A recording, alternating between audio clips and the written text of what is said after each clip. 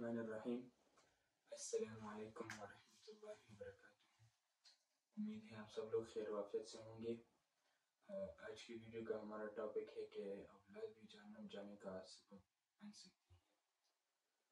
आज अगर आप लोगों के बच्चे फिजिक्स केमिस्ट्री बायो और मैथमेटिक्स पढ़ सकते हैं, उनको समझ भी सकते हैं तो ये लोग कुरान मजीद को भी समझ सकते हैं। कुरान को भी समझ सकते हैं और हदीस को भी पढ़ सकते हैं। लेकिन मुझे बहुत अफसोस के साथ ये बात करनी पड़ रही है कि आज हमारे वालदेन हमें सिर्फ़ दुनियावी कामों पर तरगीब दे रहे हैं। हमें कुरान मजीद की कोई तरगीब नहीं मिल रही। क्योंकि मैं अलहमदिल्ला ख़ुद भी हाफिज़ हूँ और फ़र्स्ट ईयर का स्टूडेंट हूँ तो हमारा ऐसा सिस्टम होता है कि हमारे मदारस में हम नॉर्मल डेज़ में टू टाइम मदरसे जाते हैं सबक के, दर्स के लिए। और जो, जब छुट्टी होती है, यानी हमारे तो दो दिन छुट्टी होती है हफ़्ता और इतवार। और बाकी स्कूल्स की जो होती है, वो एक दिन, यानी इतवार की छुट्टी होती है। तो उस दिनों में हमारे मदारस के इसबाक तीन टाइम होते हैं, फजर, जहर और मगरब। तो ये तीन टाइम हमारे इसबाक होते हैं। तो मैं अक्सर देखता हूँ कि हमारे जो दर्स में कुछ बच्चे हैं, वो लोग इतवार के दिन सबक नहीं आ सके, वो सुबह के टाइम तो मैं उनसे पूछता हूँ कि, यार, आप क्यों नहीं आते हो? आप तो सारा हफ़्ता स्कूल जा सकते हो। सुबह सवारे उठ के, उठते हो और यूनिफॉर्म चेंज करते हो और फिर नाश्ता करते हो और फिर आधा घंटा मजल भी करते हो स्कूल के लिए। लेकिन आप सिर्फ़ इतवार के दिन क्यों नहीं उठ सकते और पाँच मिनट की मंजिल से आपका मदरसा है तो आप मदरसे को क्यों नहीं आ सकते तो वो मुझे बड़े बड़े अफसोस के साथ कहता है वो बच्चा मुझे बड़े अफसोस के साथ कहता है कि यार मुझे अपनी माँ नहीं उठा रही सारा हफ़्ता उसकी माँ जागी रहती है कि अभी ये स्कूल जाएगी। लेकिन जब इतवार के दिन आती है तो उसकी माँ सो, सोई पड़ी होती है। वो खुद भी सोती है और अपने बच्चों को भी ले डूबती है। वो शोरता ना कि, हम तो डूबे हैं, सनम तुमको भी ले डूबेंगे। तो ऐसा कुछ यूँ होता है कि माँ भी सो रही अपने बच्चों को भी सुलवा रहा है। तो ये बड़ी नेगेटिव बात है। और एक डॉक्टर साहब के बारे में मशहूर है कि एक डॉक्टर था, बड़ा अच्छा खासा डॉक्टर था। तो उनके वालिद साहब फौत हो गए। तो जनाजे में बड़े लोग शरीक हुए थे। और उनका, उनके वालिद का जनाजा पढ़ाया जा रहा था, लेकिन वो किनारे में खड़ा हुआ था और रो रहा था। तो जब जनाजा पढ़ाया गया तो सारे लोग डॉक्टर के गिर जमा हुए और उनसे पूछा कि, यार, आप क्यों रो रहे हो?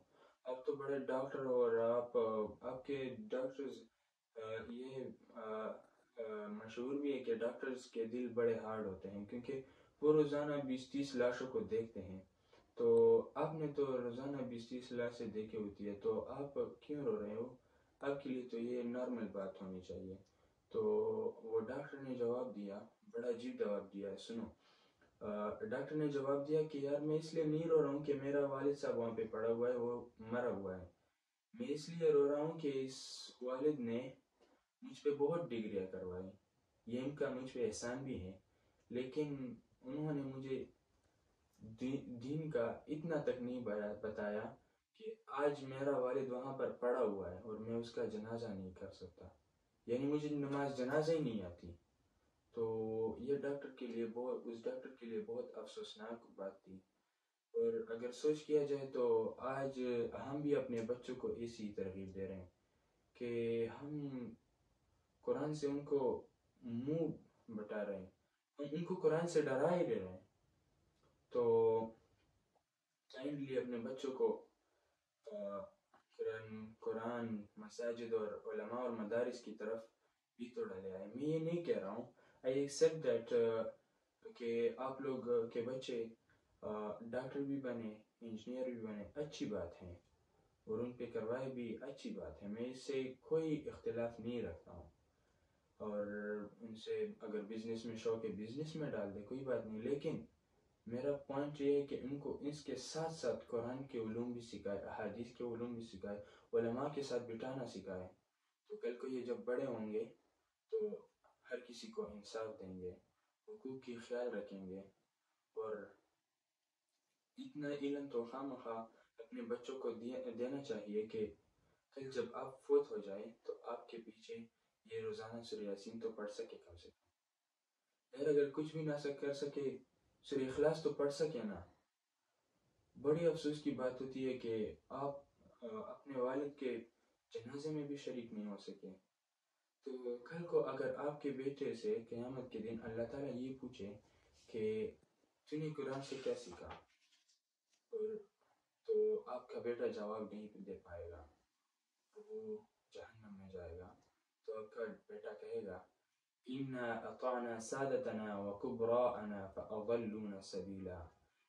यानी हमने अपने बड़ों और बाप दादों का हुक्म माना था और उन्होंने हमें गलत रास्ते में डाल दिया यानी आप खुद सोचें आपके बेटे भी आपके खिलाफ गवाही देंगे कि इन्होंने हमारे साथ ये जुल्म किया हुआ है माँ कहती थी कि तूने डॉक्टर बनना है मैंने बेबिस के लिए डॉक्टर बन गई माँ कहती थी कि तूने इंजीनियर बनना है मैं इंजीनियर बना। बाप कहता था, तूने एम फिल करना है, मैंने फिल कर ली। तो आपके बेटे कहेंगे कि उन्होंने हमें कुछ भी दीन के उलूम के बारे में नहीं सिखाया और न इनके बारे में तरकीब दिया। तो फिर ये आप लोग के बारे में कहेंगे, रब्बना आतिहिम ज़अफ़ैन मिनल अज़ाब वलअनहुम यानी, ए हमारे रब अब भी उनको डबल अजाब दीजिए। और अल्लाह उन पर लानतों के बारिश बरसाएँगे। यानी आपके बच्चे अल्लाह ताला से ये मेहनत करेंगे कि इनको डबल अजाब दीजिए, हमारे वालदेन को डबल अजाब दीजिए, क्योंकि आज हम इनकी वजह इन्हीं लोगों की वजह से दोजख के अजाब पे जा रहे हैं। हम तो सफ़ेद कागज़ थे, हम पे जो लिखा जाता था हम वो करते थे हम पे ये लिखा हुआ था कि आपने सिर्फ़ डॉक्टर बनना है, हमने हदीस को देखा ही नहीं है, हमने कुरान को देखा ही नहीं है। आप खुद इस बात से अंदाज़ा कर ले कि आज हमारे बच्चों के साथ ढाई लाख, डेढ़ लाख और पचास, साठ हज़ार का मोबाइल होता है। लेकिन जब कुरान की बात आ जाती है तो वालिद साहब कहता है, कुरान में कोई मस्जिद में कोई ज़यीफ़ कुरान पढ़ा होगा, उससे सबक पढ़ ले। तो बड़ी अफसोस की बात है। हमें अपने बच्चों को कुरान की तरगीब भी देनी चाहिए। और ये सही बात है कि आप अपने बच्चों को डॉक्टर भी बनवाए। आई एक्सेप्ट मैं खुद भी इसका हामी हूँ। और हम अपने बच्चों को कुरान से इतना डराए हुए हैं कि हम अपने बच्चों को उस्ताद से डराते हैं। उस्ताद की लाठी से डराते हैं। ये मारेगा, ये कभी आपने अपने बच्चों को खुदा के लाठी से डराया हुआ है? अफसोस की बात है यार, शर्म की बात है। हम अपने बच्चों को उस्ताद के बारे में बड़ा बड़ा कहते हैं कि मदारस के उस्ताद ऐसे होते हैं ऐसे यार मैं खुद मदारस में रहता हूँ। मेरा वालिद आलिम है, अल्हम्दुलिल्लाह शेख हदीस है, हमारा बड़ा मदरसा है। लेकिन मैंने कभी ऐसा नहीं देखा कि उस्ताद ने शागिर्द पे लाठी टूटी हुई टूटाई हो यानी हमारे हमारे बारे में ऐसा गलत कंसेप्ट बनाया जा रहा है। आप यानी मैं अपनी पर्सनल एक्सपीरियंस की बात करूँ, हमारा टीचर था, मैं उसको मेंशन नहीं करना चाहूँगा।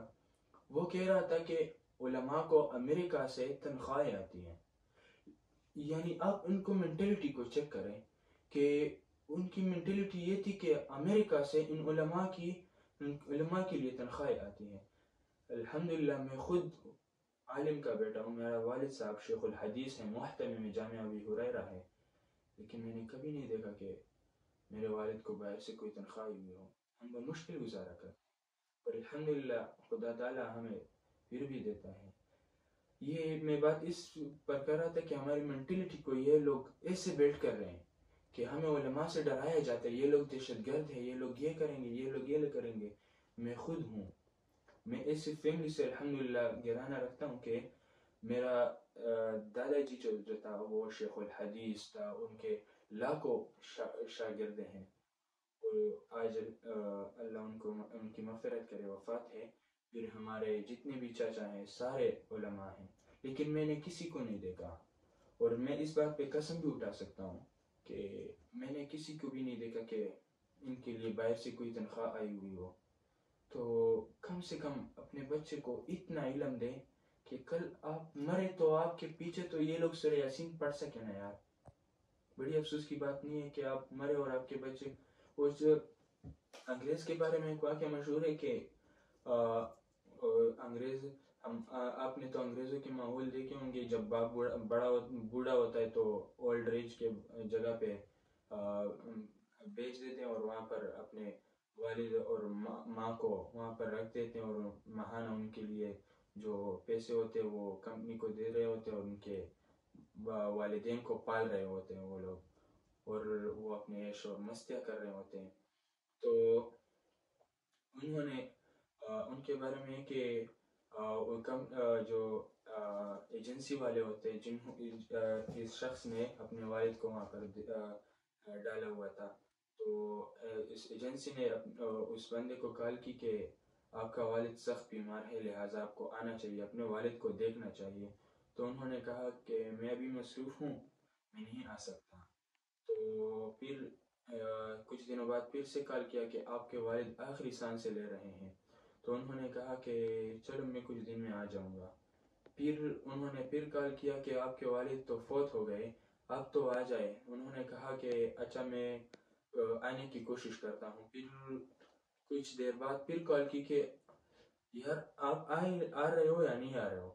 तो उन्होंने कहा कि अच्छा आप एक्स्ट्रा रुपए ले लें और मेरे वालिद को दफना दे और मुझे कबर बता दे कि यहाँ पर मेरे वालिद दफन हुए हैं तो मैं जब फ्री हो जाऊँ तो आ जाऊँगा।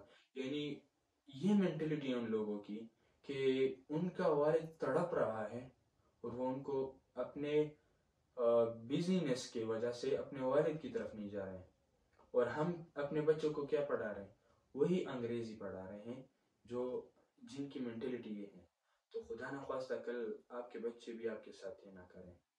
तो कम से कम अपने बच्चों को कुछ ना कुछ पढ़ाएँ और ये जो गलत मेंटेलिटी है, उनसे इनको महफूज रखें।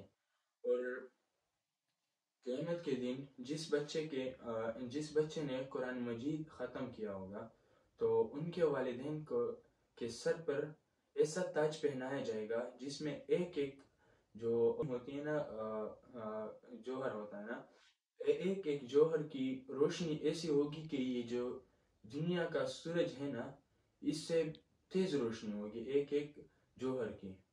तो आप अंदाज़ा करें कितना मज़े की चीज़ होगी।